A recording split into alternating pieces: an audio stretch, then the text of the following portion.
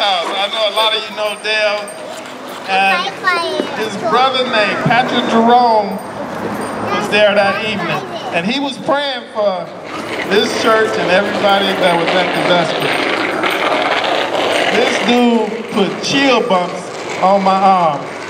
That's how powerful the prayer was. So if there's anyone out here that need prayer, I know him personally. I know him personally. He would give you prayer. Praise God, praise God. And that is my testimony. All right.